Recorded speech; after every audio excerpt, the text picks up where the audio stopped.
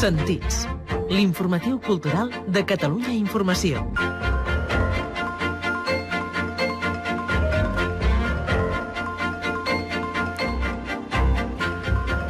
Bona nit, us saludem des de la Biblioteca de la Fundació Joan Miró, a punt per començar el que, sens dubte, és una experiència de ràdio una mica insòlita.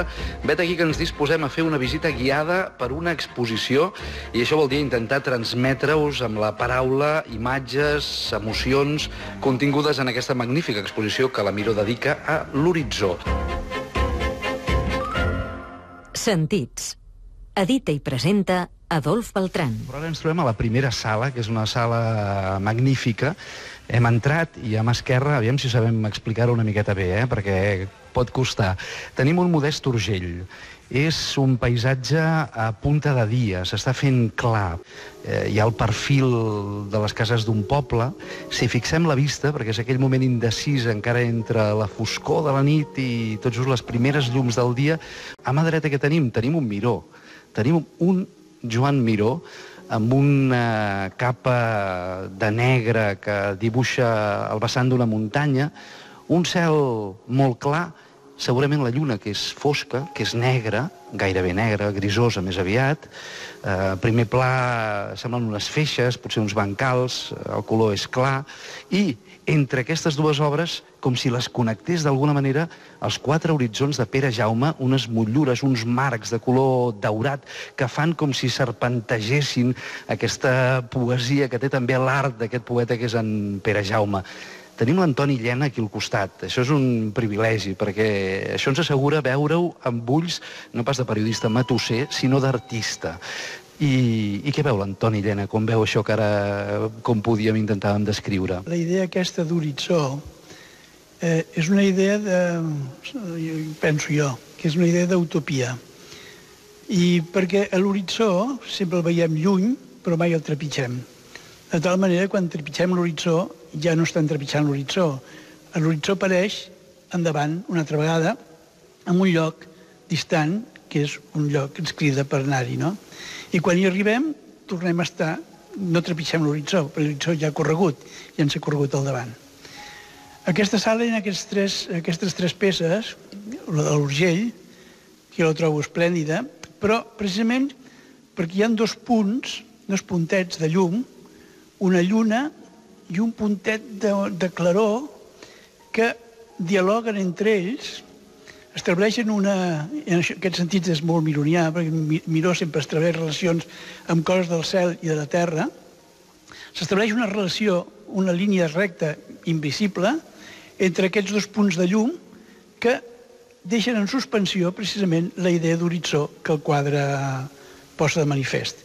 Aquesta foscor és contradita aquests dos, el diàleg d'aquests dos punters de llum.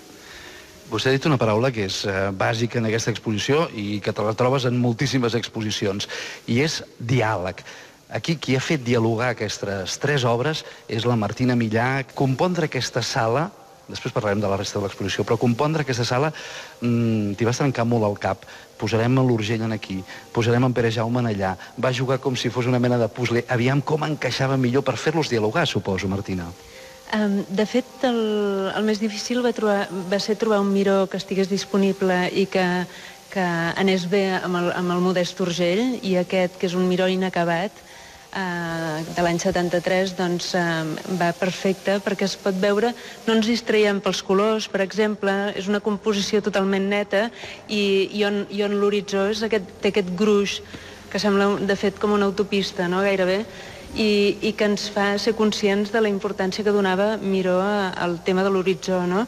que en Miró sovint eh, pensem això, doncs, eh, els estels, els colors, altres coses com que també hi són, però a vegades no pensem en, en Miró com a pintor d'horitzons i, de fet, eh, segueix una, una línia eh, d'aprenentatge que, que comença amb, amb Urgell i amb tants altres, eh, però ell l'aprèn directament d'Urgell i, i se l'apropia la, i la desenvolupa amb, amb el seu estil, però quan els veiem junts veiem que hi ha una connexió claríssima. Ens traslladem ara nosaltres fins a una altra, fins a una altra de les sales. També tenim ganes de parlar amb alguns d'aquests oients que han volgut acostar-se eh, fins aquí.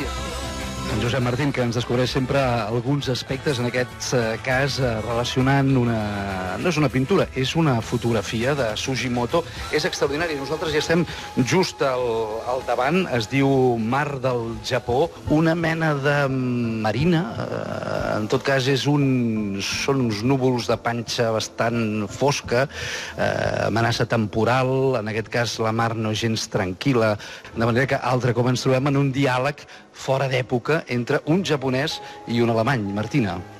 Sí, el que volia fer amb aquestes uh, dues parets, aquesta de Sugimoto amb Nolde i la següent, que és que contrasta Max Beckmann amb Yayoi Kusama, que volia fer era reflexionar una mica sobre el pes que ha tingut uh, uh, la tradició um, en, en el món occidental, en, en els artistes occidentals, per exemple, el desenvolupament de les lleis de la perspectiva al, al, al segle XV. No? Llavors m'interessava molt uh, comparar el, el que és uns artistes que en un moment donat es rebel·len contra aquestes fórmules i contra aquesta herència eh, de les lleis de la perspectiva i altres fórmules acadèmiques, eh, amb artistes que, que no havien tingut aquesta tradició, que no tenien aquest pes cultural. Estem davant del, del Magritte. Ens trobem ja a la part eh, d'epíleg d'aquesta exposició que estem visitant molt de pressa. Això s'hauria de visitar amb molt i molt de temps, no? Però tenim el Castell dels Pirineus de René Magritte de 1959, que això em sembla, Martina, que és un triomf perquè és una d'aquelles obres que molt rara vegada surt del lloc on s'està normalment, no? Sí, sí, és excepcional que estigui aquí, sí, que, que hagi viatjat fins a Barcelona. Em sembla que feia com 20 anys que no viatjava enlloc, de fet, mm -hmm. i és fantàstic que ens l'hagin deixat perquè ha vingut de Jerusalem. Eh, no sabem ben bé si, Antoni Llena, si aquesta roca sura, si cau, si s'eleva, mirada d'artista, quina és? Doncs en un estat de suspensió, realment. I sobretot, més que caure, més que caure, jo crec que es projecta a cada espectador com un cop de puny. Eh? Més, està, està suspesa damunt del, del mar, però més que mm, suggerir el pes de la gravetat, vull dir, la, el, la inèrcia de, de, de venir del cel cap a, cap a, cap a, cap a la superfície del globo terraqui, està flotant, està, està, està venint cap a l'espectador. I després tenim un Antoni Llena, que serveix d'epíleg, juntament amb aquesta resta d'obres que hem estat eh, anomenant, d'aquesta exposició sobre l'horitzó. Acostem-hi tots plegats, també tot el, tot el grup, si us sembla bé, la història de l'home, la història de l'art i la història de la pintura. I ara els oients que no estan veient el que nosaltres estem veient, que imaginin quina mena d'obra pot ser. Doncs el que veiem aquí és eh, tres, eh, tres quadres, eh, papers eh, que semblen molt sensibles, eh, translúcids. El primer, em sembla que això és tinta de... Eh, és de bolígraf i, i posa la història de l'home a sota. És una ratlla, una ratlla que està una miqueta més amunt de la meitat. Tot deu ser significatiu en aquí. La tria del paper, eh, que és un element especialment fràgil, Antoni. Aquesta, aquesta, aquesta peça, aquesta obra, que són aquestes tres obres que van com tríptic, tenen la, el seu sentit. L'evolució de l'art es anava trepitjant, o sigui, cubisme, futurisme, surrealisme, expressionisme abstracte, abstracció, etc. Els anaven pop art, eh, op art... I això, això, això em neguitejava molt, perquè jo pensava que l'art s'ha de mirar amb tal perspectiva que si ho mires amb una perspectiva tan gran, eh, al final tots els sismes desapareixen i es converteix en una sola línia. És com quan llegeix un llibre que pots llegir eh, frontalment, però si gires el llibre i el poses en, en superfície plana, totes les lletres es converteixen en una sola lletra. O sigui, d'alguna manera, totes les obres són la mateixa obra, cosa que ja va bé, suposo, per concloure una exposició anacrònica en què busqueu el diàleg entre obres molt diverses. I nosaltres, tot el grup, amb la Martina Millà, amb l'Antoni Llena, pugem altre cop a la biblioteca de la Fundació Miró i rematem el programa. Gràcies eh, i fins la setmana que ve.